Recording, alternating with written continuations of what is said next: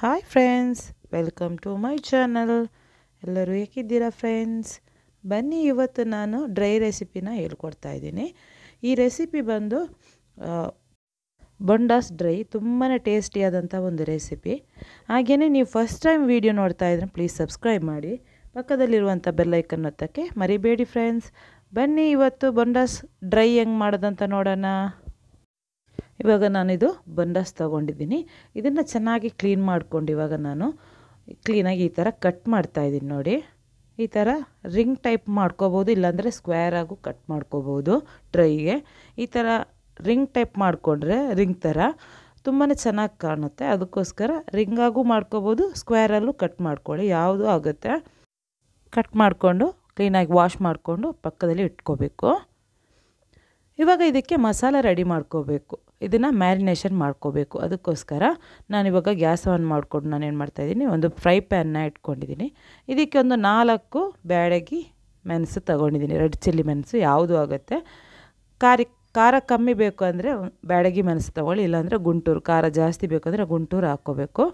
ಇದಕ್ಕೆ ಒಂದು ಅರ್ಧ ಸ್ಪೂನಷ್ಟು ಮೆಂತ್ಯ ಕಾಳು ಆಮೇಲೆ ಒಂದು ಸ್ಪೂನು ಜೀರಾ, ಆಮೇಲೆ ಒಂದೂವರೆ ಸ್ಪೂನಷ್ಟು ಧನಿಯಾ, ಆಮೇಲೆ ಒಂದು ಸ್ಪೂನಷ್ಟು ಸೋಂಪು ಹಾಕ್ಕೊಂಡು ಚೆನ್ನಾಗಿ ಇದನ್ನು ಡ್ರೈ ರೋಸ್ಟ್ ಮಾಡ್ಕೋಬೇಕು. ಒಂದೊಳ್ಳೆ ಅರೋಮ ಬರುವವರೆಗೂ ಇದನ್ನು ಚೆನ್ನಾಗಿ ಇದನ್ನು ರೋಸ್ಟ್ ಮಾಡ್ಕೋಬೇಕು. ಕಲರ್ ಚೇಂಜ್ ಆಗಿ ಒಂದೊಳ್ಳೆ ಅರೋಮ ಬರುತ್ತೆ, ಅದುವರೆಗೂ ಇದನ್ನು ಚೆನ್ನಾಗಿ ರೋಸ್ಟ್ ಮಾಡ್ಕೊಳ್ಳಿ.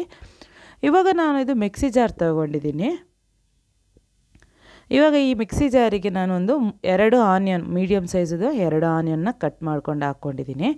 ಆಮೇಲೆ ನಾನು ಆವಾಗಲೇ ರೋಸ್ಟ್ ಮಾಡಿರುವಂಥ ಮಸಾಲ ಇದೆಯಲ್ಲ, ಅದನ್ನು ಹಾಕ್ಕೋಬೇಕು ಇದಕ್ಕೆ ಒಂದು ಅರ್ಧ ಸ್ಪೂನು ಅರಿಶಿನ ಆಮೇಲೆ ಇದಕ್ಕೆ ಒಂದು ಸ್ಪೂನಷ್ಟು ನಾನಿವಾಗ ಗರಂ ಮಸಾಲಾನ ಹಾಕ್ಕೊಂಡಿದ್ದೀನಿ. ಆಮೇಲೆ ರುಚಿಗೆ ತಕ್ಕಷ್ಟು ಉಪ್ಪನ್ನ ಹಾಕ್ಕೋಬೇಕು ಇವಾಗ ಇದಕ್ಕೆ ನಾನೊಂದು ಎರಡು ಇಂಚಷ್ಟು ಶುಂಠಿನ ಹಾಕ್ತಾಯಿದ್ದೀನಿ ಆಮೇಲೆ ಇದಕ್ಕೆ ಒಂದು ಹತ್ತರಿಂದ ಹನ್ನೆರಡು ಬೆಳ್ಳುಳ್ಳಿನ ಹಾಕ್ತಾಯಿದ್ದೀನಿ ಎಸ್ಲೋ. ಇವಾಗ ಇದಕ್ಕೆ ಒಂದು ಅರ್ಧ ಲಿಂಬೆ ಹಣ್ಣಿನ ರಸವನ್ನು ಹಾಕ್ಕೋಬೇಕು ಒಂದು ಅರ್ಧ ಲಿಂಬೆ ಹಣ್ಣಿನ ರಸ ಅಂದರೆ ಒಂದು ಎರಡು ಸ್ಪೂನಷ್ಟು ಲಿಂಬೆ ಹಣ್ಣಿನ ರಸನ ಹಾಕ್ಕೊಂಡು ಇವಾಗ ನಾನು ಇದಕ್ಕೆ ಒಂದು ನಾಲ್ಕು ಸ್ಪೂನಷ್ಟು ನಾನು ಇವಾಗ ಮೊಸರನ್ನ ಹಾಕ್ತಾಯಿದ್ದೀನಿ ಮೊಸರು ಇಲ್ಲ ಅಂದರೆ ಫ್ರೆಶ್ ಕ್ರೀಮು ಹಾಕ್ಕೊಂಡ್ರೂ ಚೆನ್ನಾಗಿ ಬರುತ್ತೆ. ಇವಾಗ ಹಾಕ್ಕೊಂಡು ಇದನ್ನು ಚೆನ್ನಾಗಿ ಒಂದು ಸ್ಮೂತ್ ಪೇಸ್ಟ್ ಮಾಡ್ಕೊಂಡು ಬಂದಿದ್ದೀನಿ ಇವಾಗ. ಇದನ್ನು ನಾನಿವಾಗ ಪಕ್ಕದಲ್ಲಿ ಇಟ್ಕೋಬೇಕು.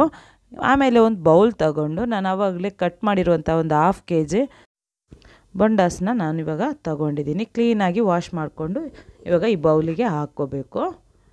ಇವಾಗ ನಾನು ಆವಾಗಲೇ ಗ್ರೈಂಡ್ ಮಾಡಿರುವಂಥ ಮಸಾಲ ಎಲ್ಲ ಇದೆಯಲ್ವ? ಮಸಾಲ ಪೇಸ್ಟು ಅದನ್ನು ಹಾಕ್ಕೋಬೇಕು. ಇದು ಫಸ್ಟು ಮ್ಯಾರಿನೇಷನು ಇದನ್ನು ಚೆನ್ನಾಗಿ ಒಂದು ಸಲ ಈ ಚೆನ್ನಾಗಿ ಮಿಕ್ಸ್ ಮಾಡ್ಕೋಬೇಕು. ಚೆನ್ನಾಗಿದು ಎಲ್ಲ ಬೊ ಬೊಂಡಾಸ ಎಲ್ಲ ಚೆನ್ನಾಗಿ ಕವರ್ ಆಗುವವರೆಗೂ ಇದನ್ನು ಚೆನ್ನಾಗಿ ಮಿಕ್ಸ್ ಮಾಡ್ಕೊಳ್ಳಿ. ಈ ಥರ ಚೆನ್ನಾಗಿ ಒಂದು ಸಲ ಮಿಕ್ಸ್ ಮಾಡಿಕೊಂಡ್ರೆ ಸಾಕು. ಇದನ್ನು ಒಂದು ಮೂವತ್ತು ನಿಮಿಷ ಇದನ್ನು ನಾವು ಇವಾಗ ರೆಸ್ಟಿಗೆ ಇಡಬೇಕು. ಒಂದು ಮೂವತ್ತು ನಿಮಿಷ ಆದ ನಂತರ ನೋಡಿ ಫ್ರೆಂಡ್ಸ್ ಇವಾಗ ನಾನು ಗ್ಯಾಸ್ ಆನ್ ಮಾಡಿಕೊಂಡು ನಾನಿವಾಗ ಒಂದು ಬಾಂಡಿನ ಇಟ್ಕೋತಾ ಇಟ್ಕೋತಾ ಇದ್ದೀನಿ. ಇದಕ್ಕೆ ಇವಾಗ ನಾನು ಕೋಕೋನಟ್ ಆಯಿಲು ನಾನು ಒಂದು ಐದು ಸ್ಪೂನಷ್ಟು ಕೋಕೋನಟ್ ಆಯಿಲ್ ಹಾಕ್ಕೊಂಡಿದ್ದೀನಿ. ಆಮೇಲೆ ಇದಕ್ಕೆ ಕರಿ ಲೀವ್ಸು ಒಂದು ಇಡಿಯಷ್ಟು ಕರಿ ಲೀವ್ಸನ್ನ ಹಾಕ್ಕೊಂಡು ಚೆನ್ನಾಗಿ ಇದನ್ನು ಫ್ರೈ ಮಾಡ್ಕೊಳ್ಳಿ. ಒಂದು ಸ್ವಲ್ಪ ಫ್ರೈ ಆದ ನಂತರ ಇದನ್ನು ಇದಕ್ಕೆ ನಾನಿವಾಗ ಆನಿಯನ್ನು, ಒಂದು ಮೀಡಿಯಮ್ ಸೈಜಿದು ಎರಡು ಆನಿಯನ್ನ ನಾನು ಕಟ್ ಮಾಡಿಕೊಂಡು ಇದಕ್ಕೆ ಹಾಕ್ಕೊಂಡು ಚೆನ್ನಾಗಿ ಇದನ್ನು ಫ್ರೈ ಮಾಡ್ತಾಯಿದ್ದೀನಿ ಅದು ಚೆನ್ನಾಗಿ ಫ್ರೈ ಆಗಿ ಒಂದು ಒಳ್ಳೆ ಕರ್ ಕಲರ್ ಬಂದ ನಂತರ ಇದಕ್ಕೆ ನಾನಿವಾಗ ನಾನು ಆವಾಗಲೇ ಮ್ಯಾರಿನೇಷನ್ ಮಾಡಿರುವಂತಹ ಬಂಡಾಸ್ ಇದೆಯಲ್ಲ, ಅದನ್ನು ನಾನಿವಾಗ ಹಾಕ್ಕೊಂಡು ಚೆನ್ನಾಗಿ ಇದನ್ನು ಮಿಕ್ಸ್ ಮಾಡ್ತಾಯಿದ್ದೀನಿ ಇದನ್ನು ಚೆನ್ನಾಗಿ ಈ ಥರ ಬೇಯಿಸ್ಕೋಬೇಕು. ನೀರೇನು ಜಾಸ್ತಿ ಹಾಕೋಕ್ಕೆ ಹೋಗಬೇಡಿ. ಅದರಲ್ಲಿರುವಂಥ ನೀರೇ ಸಾಕಾಗುತ್ತೆ. ಇದನ್ನು ಫುಲ್ಲು ಡ್ರೈ ಮಾಡ್ಕೋಬೇಕು. ಇದಕ್ಕೆ ನಾನು ಇವಾಗ ರುಚಿಗೆ ತಕ್ಕಷ್ಟು ಉಪ್ಪನ್ನ ಹಾಕ್ಕೊಂಡು ಚೆನ್ನಾಗಿ ಒಂದು ಸಲ ಮಿಕ್ಸ್ ಮಾಡ್ಕೋಬೇಕು. ನೋಡಿ, ಈ ಥರ ಚೆನ್ನಾಗಿ ಇದನ್ನು ಸ್ಪೂನ್ ಹಾಕ್ತಾನೆ ಬೇಯಿಸ್ಕೋಬೇಕು. ಅಂದರೆ, ಇಲ್ಲಾಂದರೆ ತಳ ಹಿಡ್ಕೊಳ್ಳುತ್ತೆ. ಅಂದರೆ, ನಾವು ಫ್ರೆಶ್ ಕ್ರೀಮು ಕರ್ಡ್ ಹಾಕ್ಕೊಂಡಿರ್ತೀವಲ್ವ, ಅದೇನಾಗುತ್ತೆ? ತಳ ಹಿಡ್ದಂಗೆ ಆಗುತ್ತೆ.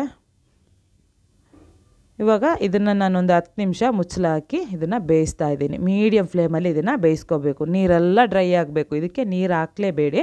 ಅಂದರೆ, ನಾವು ಮಸಾಲೆ ಗ್ರೈಂಡ್ ಮಾಡುವಾಗ ನೀರು ಹಾಕ್ಕೊಂಡಿರ್ತೀವಲ್ವ ಅದೇ ನೀರು ಸಾಕಾಗುತ್ತೆ. ಇವಾಗ ಇದನ್ನು ಚೆನ್ನಾಗಿ ಡ್ರೈ ಫುಲ್ಲು ಡ್ರೈ ಆಗುವವರೆಗೂ ಇದನ್ನು ಚೆನ್ನಾಗಿ ಇದನ್ನು ಈ ಥರನೇ ಫ್ರೈ ಮಾಡ್ತಾನೆ ಇರಬೇಕು. ಇವಾಗ ನಾನು ಇದಕ್ಕೆ ಒಂದು ಎರಡು ಸ್ಪೂನಷ್ಟು ಫ್ರೆಶ್ಶಾಗಿ ಕುಟ್ಟಿ ಪುಡಿ ಮಾಡಿರುವಂತಹ ಬ್ಲ್ಯಾಕ್ ಪೆಪ್ಪರ್ ಪೌಡ್ರು ಹಾಕ್ತಾಯಿದ್ದೀನಿ ಆಮೇಲೆ ಇದಕ್ಕೆ ಎರಡು ಗ್ರೀನ್ ಚಿಲ್ಲಿನ ಕಟ್ ಮಾಡಿಕೊಂಡು ಹಾಕ್ಕೋತಾ ಇದ್ದೀನಿ. ಹಾಕ್ಕೊಂಡು ಚೆನ್ನಾಗಿ ಇದನ್ನು ಈ ಥರ ಡ್ರೈ ಮಾಡ್ತಾ ಬರಬೇಕು. ಅಂದರೆ ಫ್ರೈ ಮಾಡ್ತಾ ಬರಬೇಕು. ಆಯಿಲೆಲ್ಲ ಬಿಡುವವರೆಗೂ ಇದನ್ನು ಚೆನ್ನಾಗಿ ಈ ಥರ ಫ್ರೈ ಮಾಡ್ಕೊಳ್ಳಿ. ಇವಾಗ ನೋಡಿ ಫುಲ್ ಡ್ರೈ ಆಗ್ತಾ ಬರುವಾಗ ಏನಾಗುತ್ತೆ?